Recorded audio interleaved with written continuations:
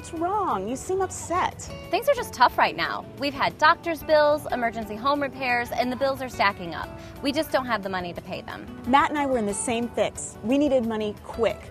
We called Title First Title Pawn and we got the cash we needed. But I thought title pawns were traps. Title First showed us how affordable it can be.